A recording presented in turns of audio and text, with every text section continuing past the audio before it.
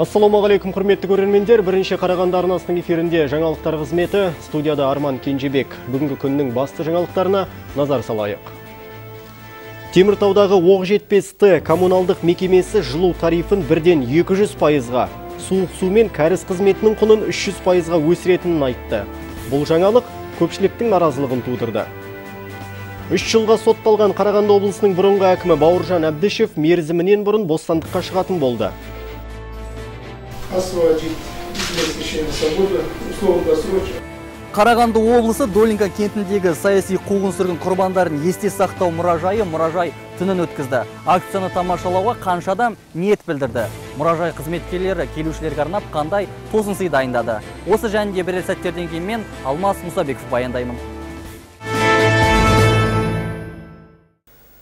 Жаңалықтарымызды рет-ретімен тарқатайық. Жыл басында ғана әкімдіктің меншігіне өткен Теміртаудағы оқ жетпесті коммуналдық мекемесі жылу тарифін бірден 200 суық су мен кәріз қызметінің құнын 300 пайызға өсіретінін айтты. 9 айдан бері шығынымыз шаш етектен деген шенділер тұрғындар арқылы мекеменің шұрық тесігін жамап, жұмыскерлерінің жалақысын көтермек екен. Мұны естіген халық сапасыз қызметке бір тиын төлемейміз деп отыр. Оқ жетпесті коммуналдық мекемесінің қызмет тарифтеріне қатысты шешімдерін естігенде халық шу шығарды. Өйткені қызмет сапасыз. Алтай қыста мардымсыз жылуға қарық болмаған халық онсыз да артық төлеп келгендігін айтады. Ал ыстық суды елден ерек сәуір айында тоқтатып тастапты. Әр отбасы осыған дейін коммуналдық қызметтер үшін 10 мың теңге төлеп келсе, енді ай сайын 30 мың теңге төлейтін болады. Государственная поддержка бұл мемлекеттік мекеме неге үкіметтен ақша сұрамайсыздар? Неге халық үш есе артық төлеуі тиіс? Онсыз да ыстық суды елден ерек қара суықта сәуір айында өшірдіңіздер. Жұмысшыларыңызға жалақыны халық төлеуге міндетті емес. Халықтың базынасын тыңдамақ болған мекеме басшылығы тұрғындармен кездесіп наразы топқа тарифтің не себепті шарықтап кеткендігін түсіндірмек болды. Бұрын арселормиттал компаниясының иелігінде болған коммуналшылар барлық жөндеу жұмыстарын кәсіпорын атқарғандығын айтады. Ал енді бұл жұмыстарға үкіметте қаржы тапшы көрінеді. 550 миллион теңге керек деген шенділер тарифті ұлғайтып құбырлардың шұрық тесігін жамаймыз деп отыр. Өйткені күтім көрмеген сырты қапталмаған құбырлардағы жылу мен су далаға кетеді. Оны да халық төлеуі тиіс дейді. Покупаем гигакалорию за 2500 біз арселордан энергия қуатының 1 гигакалорийін 1232 теңгеге сатып алғанбыз. 2 миллиард теңге деген сөз. Оның 77 пайызының халыққа үлесі тиген қалғаны шығын далаға кетіп жатыр. Жылуды 2511 теңгеге алып 1993 теңгеге сатамыз. Оның да 40 пайызы шығын. Компания басшылығы осы арқылы жұмысшыларына жалақысын ұлғайтуды көздеп отыр. Алпауыт компаниядан ыстық суды сатып алатын әкімді қарызымыз шаш етектен асты деп жыларман болды. Тіпті тоғыз айда 500 миллион теңгедей шығынға батыпты. Әзірге қос тарап ортақ келісімге келген жоқ. Тұрғындар болса жылу маусымы басталғанға дейін ескі тариф үшін күресуді жалғастырамыз деп отыр. Алмас мұсабеков арман нартаев бірінші қарағанды телеарнасы. Қарағанды облысының бұрынғы әкімі Бауыржан Әбдішев мерзімінен бұрын бостандыққа шығатын болды. Қазбек би аудандық сотының судьясы Жұмағұл Шөженов Әбдішевтің шартты түрде мерзімінен бұрын бостандыққа шығу туралы өтінішін қанағаттандырды. Енді ол 15 күнге созылатын апелляциялық кезеңнен өтуі тиіс. Сот шешімі бойынша бұрынғы мемлекеттік қызметкерге бір жыл төрт ай сынақ мерзімі тағайындалды. Сот шешімін тыңдауға келген жұртта есеп болмады. Әдеттегідей отырысқа экс басшының туысқандары мен журналистер жиналды. Қазбек би аудандық сотының судьясы Жұмағұл Шөженов Әбдішевті мерзімінен бұрын босатып, оған бір жыл төрт ай төрт күнге пробациялық бақылау орнатылсын деген шешім шығарды. не реже одного раза в месяц. әрбір ай сайын ішкі істер органдары мен пробация қызметіне келіп тіркелуі қажет және сәйкесінше әлеуметтік құқықтық көмек алуда өзінің іс әрекет туралы есеп беріп отыруы керек Бауыржан Әбдішевтің туыстары қуаныштарын жасыра алмай сот үкімін естіген сәтте көз жастарына ерік берді. Ал бұрынғы басшы болса өзінің қорғаушысымен көпке дейін күбірлесіп сөйлесті. экс басшы сұхбат береді деп күткен журналистердің үміті ақталмады оны сот залынан жасауылмен алып кетті енді ол бостандыққа толық шығу үшін 15 күнге созылатын операциялық кезеңнен өтуі тиіс меруерт балкеева жақсылық нұртай арман нұртаев бірінші қарағанды телеарнасы Бүгін Қарағанды қаласының әкімі Нұрлан Әубәкіровтің экс-премьер-министр Серік Ахметов пен онымен бірге істі болған азаматтардың үстінен сотқа жазған шағымы тыңдалды. Нұрлан Әубәкіров өз арызында мемлекет қазынасын оңды солды шашып, сыбайлас жемқорлыққа жол бергендер барлық шығынды өз қалтасынан төлесін деп мәлімдеген. Шағым сәуірдің 26-сында түскен. Бұл арыз Ахметов, Әбдішев, Смағұлов және Мұхтар Адамбеков, Айдос Жәкенов, Марлен Шалтақов пен Асланбек Құтаевтарға қатысты қозғалған. Алайда судья Құтаевтың аталған іске қатысы жоқтығын атап өтті. Ал экс-премьердің қорғаушысы азаматтық іспен танысып шығу үшін келесі сот отырысының мерзімін созуды сұрады.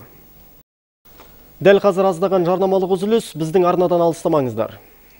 По данным Департамента внутренних дел, большинство квартирных краж происходит путем проникновения через окно. Обычное пластиковое окно можно взломать меньше, чем за минуту и без особого шума. Компания Galaxy рекомендует высокопрочные окна торговой марки Galvin и противовзломную фурнитуру Farnax, которые лишают грабителя возможности быстрого и бесшумного проникновения. Спрашивайте у изготовителей окон вашего города.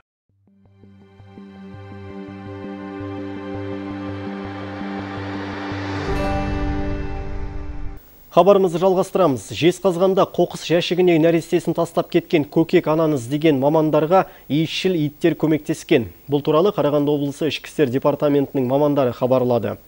18 жастағы бой жеткенді иттер сәбидің үстіндегі иіс арқылы тапқан. Шала туылған шақалақтың анасы 18 жастағы Кеңгір ауылының тұрғыны болып шықты. Тергеушілер қозғалған қылмыстық істің бабын өзгертті. Енді көкек ана баласын өлтірмек болған үшін айыпталуда. Қазіргі уақытта онымен тергеушілер жұмыс жасап жатыр. Алайда жасана қамауға алынбаған. Оның мұндай әрекетке не себепті барғаны әлі күнге дейін белгісіз болып отыр. Кеңгір ауылындағы табылған нәресте туралы факт бойынша Жезқазған қаласының жедел тергеу тобының қызметкерлерімен ауылдың 18 жастағы тұрғыны анықталып құрықталды. Қазіргі уақытта тергеу жұмыстары жүргізілуде. Денсаулық сақтау басқармасындағы мамандар болса көкек ананың жағдайы жақсы екендігін айтады. Ол толықтай дәрігерлердің тексерілуінен өткен. Жас қыздың қандай жағдайда босанғандығы жайлы дәрігерлер әзірге ештеңе айтпай отыр. Естеріңізге сала кетейік шала туған шақалақ 17 мамыр күні жезқазған қаласының маңындағы кеңгір ауылынан табылған болатын. Сәбиді тұрғындар қоқыс жәшігінен тауып алған. Абырой болғанда нәресте аман. Алайда денесі қатты жаурап қалғандықтан өміріне әлі де қауіп төніп тұр дейді дәрігерлер. Меруерт полкеева арман нартаев бірінші қарағанды телеарнасы Қарағанды жолдарында жүргізушілерге 700-ден астам әкімшілік жаза қолданылған. Оған қоса өңірде жол апаты да жиілеуде. Сондықтан облыстық жергілікті полиция қызметімен Нұр Отан партиясының филиалы жылына екі рет акция өткізеді. Онда ең көп жол оқиғалары тіркелетін Саран, Абай қалаларында жолда қабылдау шарасын ұйымдастырды. Қарағанды облыстық Нұр Отан партиясының филиалы халықтың құқықтық сауатын арттыру үшін көпшілікпен тікелей жүздесті. Онда партияның халық арасында ықпалын арттыру әрі көпшілікті қажетті ақпараттармен таныстыру мақсаты көзделген. Ә, бұл акцияның басты мақсаты тұрғындарға құқықтық көмек көрсету, құқық қорғау ә, органдарына және өзге де мемлекеттік құрылымдарға ә, тұрғындардың сенімін арттыру, азаматтарды жеке мәселелер бойынша қабылдау жүргізу тұрғындарды қабылдау акциясына жергілікті және әкімшілік полиция қызметкерлері атсалысты. Онда тұрғындар сұрақ қойып учаскелік және мектеп инспекторларының жұмыстарымен де танысты. Сонымен қатар тіркелген қару жарақ сақтау көлік жүргізуде қандай тыйымдар салынатыны және жүргізушілердің қандай шараларды орындау міндеттелетіні түсіндірілді. Где на сегодняшний день біз бүгін саран қаласындағы тұрғындарға жолда жүру ережесі мен қауіпсіздікті сақтау бойынша заңға енгізілген өзгерістерді түсіндірдік. Бұл акция республика көлемінде ұйымдастырылды. Бұған дейін мұндай акциялар теміртау жезқазған сәтбаев қалаларында өткен. Әкімшілік және жергілікті полиция қызметі мамандары жылына екі рет тұрғындармен кездесуде. Аталмыш шара алдағы уақытта да жалғаспақ. Жаңабек наров арман нартаев бірінші қарағанды телеарнасы. Мұражай түні көпшіліктің асыға күтетін акциясы. Себебі жылдың бір түнінде ғана жанды экспонаттарды тамашалап, тылсым мен ғажайыпқа толы экспозициялық бөлмелерде түнеп шығуға болады. Халық арасында Карлак атымен танымал Долинка кентіндегі саяси қуғын сүргін құрбандарын есте сақтау мұражайы да әлемдік бастамадан тыс қалған емес. Биыл 5 мәрте өткен мұражай түнінде арнамыздың түсірілім тобы да болып қайтты әдетте кешкі сегізде жабық тұратын мұражайдың есігі қас қарайған шақта айқыр ашылды. Кезінде карлактың бас кеңсесі болған мына ғимараттың мұражайға айналғанына да 15 жыл болды. Мұражай директорының орынбасары ібрахим ісләмов мұнда 68 бөлме мен 17 экспозициялық залға қойылған 10 мыңға жуық экспонат бар екендігін айтады. Көпшіліктің қызығушылығы да жоғары. Өткен жылдың қорытындысы бойынша карлак мұражайына 23 мыңға жуық адам келген. Олардың арасында шетелдіктер де бар. Адамдар орта есеппен жиырма екі жиырма үш мыңдай адам келеді жыл сайын шетелден көп келеді мәселен былтырлар елу алты мемлекеттен алты жүзге тарта адам келді тіпті сонау бразилиядан жаңа зеландиядан содан келген адамдар болды оның негізгі себебі мына қарағандыға келген шетелдіктердің мәдени бағдарламасына осы жаңағы карлатты көруді қосса да ол адамдар құмартады карлат десе құмартып көбісі келеді мұражай түніне билет құны 1500 теңге. Акцияны тамашалауға 400-ге жоқ көрермен ниет білдіріпті. Келушілерге алдымен концерттік бағдарлама көрсетілді. Одан кейін мұражайды аралап әр экспозициялық залдың тарихымен танысты. Жанды экспонат болған мұражай қызметкерлері сахналық қойылымдарды орындап сол заманның шындығын көрсетті. Аралаушылардың арасында қатты әсерден көздеріне жас алғандары да болды. Өте қатты әсер алдым. Толқып тұрмын. Мұнда алғаш келуім. Қуғынға ұшырағандардың қиын тағдырымен танысып тәубаға келесің. Если честно ощущение такое захватывающее прям. Өте қорқынышты. Көп мағлұмат алдым. Алдағы уақытта достарымды ертіп тағы бір мәрте келсем бе деймін. Кто приходил к вашему мужу? Не помню. Велись ли в вашем доме антисоветские разговоры? Нет, не помню. Сейчас ты у меня все вспомнишь, когда окажешься в карцере. бұл тергеушінің бөлмесі бұл жерде жазасын өтеушілерден қажетті құжаттарға қол қойдыртып олардың керекті ақпаратты алу жұмыстары жүргізілген. Ә, тергеушіден тергеу барысында ә, мойында, мойындау көрсетпелерін алу үшін ә, азаптаудың адам төзгісіз тәсілдерін пайдалануға рұқсат етілген. Әрі қарай кеттік.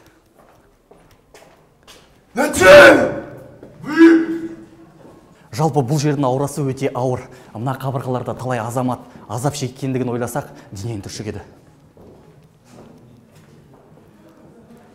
Дерек көздерге сенсек карлак еңбекпен түзету лагерлерінде миллионға жуық сотталушы жазасын өтеген. Тек мәскеуге ғана бағынған мекеменің өз әскері соты тіпті баспаханасы болған. 1930-1943 жылдар аралығында мұнда 3026 адам атылған. Оның 588-і қазақ. Қарағандыға айдылғандардың арасында саяси тұтқындар мемлекет мүлкін шашқандар мен кәнігі қылмыскерлер болған. Жазасын өтеуші әйелдер мен еркектерді мұнда тегін қара жұмыс күші ретінде пайдаланған. Солженицын архипелаг гулагында тергеушілер адамды азаптаудың 31 түрлі тәсілін пайдаланғандығын жазады. Бұл азаптау әдістерінің бәрі де карлакта қолданылған.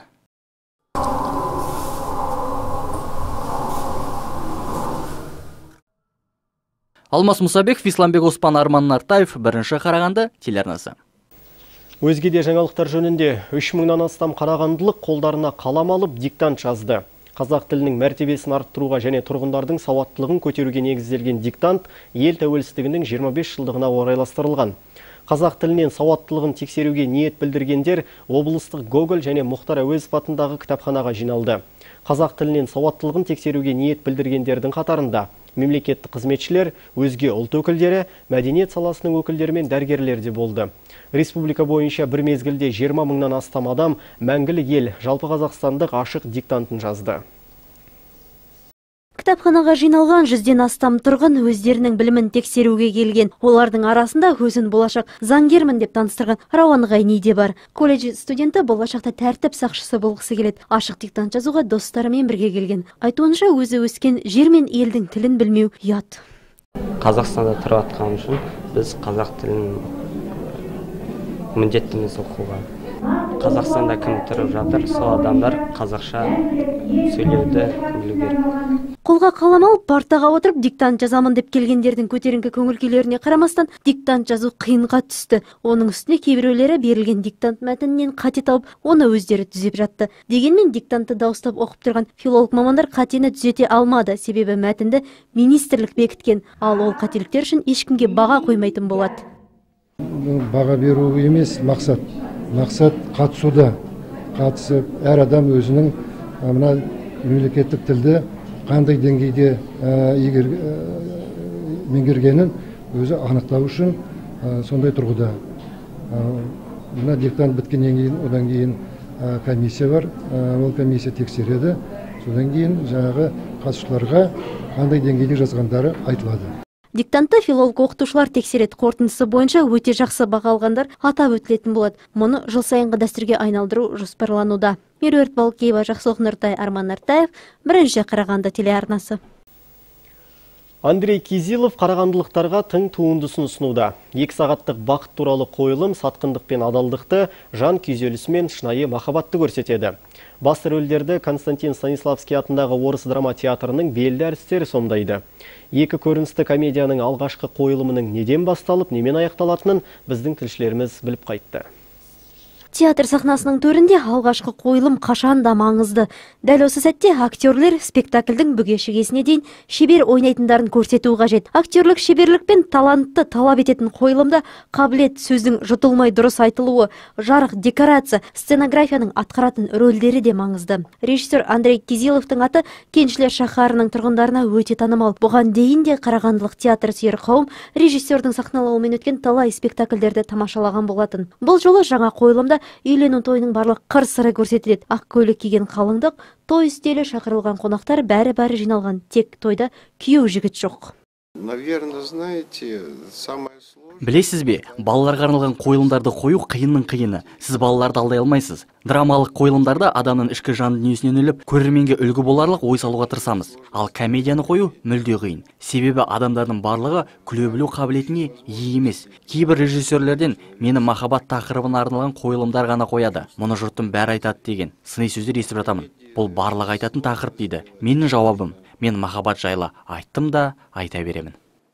Өз қойылымдарында андрей кизилов махаббат жайынан сыр шертеді. Бұл тек ер мен әйелдің арасындағы қарым қатынас емес ол әлемді өзімен байлап тұрған нәзік жіп. Спектакль желісі де осы нақылға сүйеніп жазылған.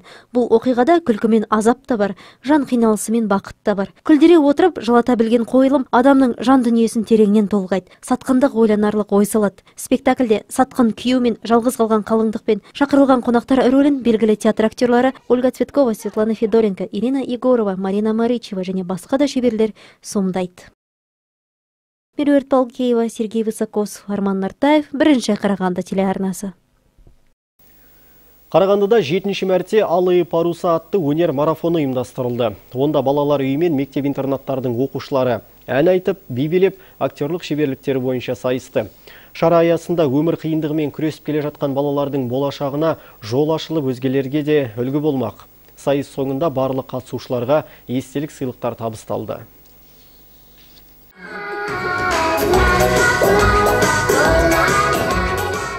марафонда гаухар ғабдуллина әке ана әнін орындады. Гаухар 10 жаста. Жас қыздың көзі аса көрмейді. Алайда музыкалық қабілеті жоғары. Гаухар осы әнімен ақ көрерменді өз өнерімен тәнті қылды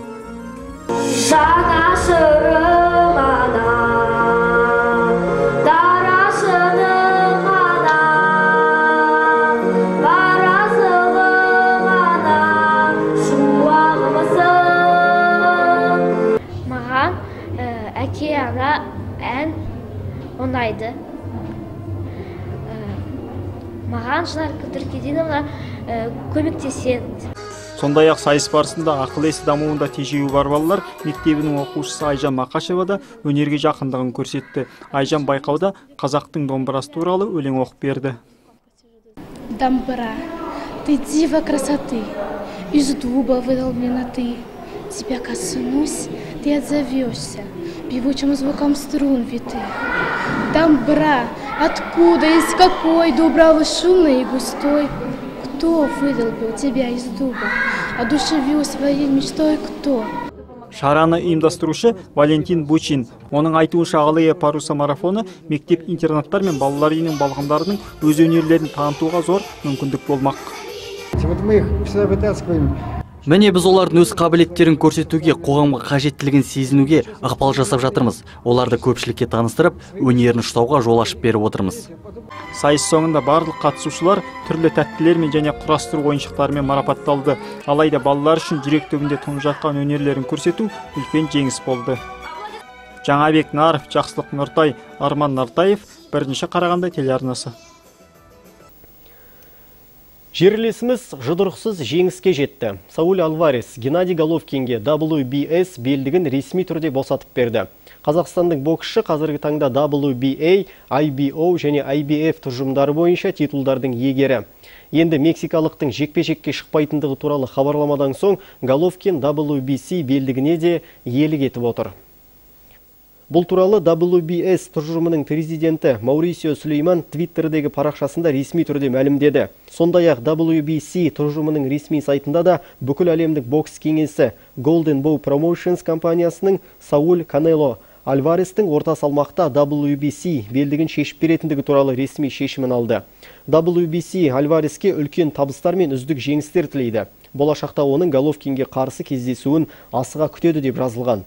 Ал орта салмақтағы тағы бір WBO тұжырымындағы чемпиондық атақ британиялық Билли Джо Сондерстың еншісінде. Бұл боксшы да ешбір кездесуінде жеңіліп көрмеген. Алдағы уақытта Сондерс пен Головкин қолғап түйістіруі мүмкін.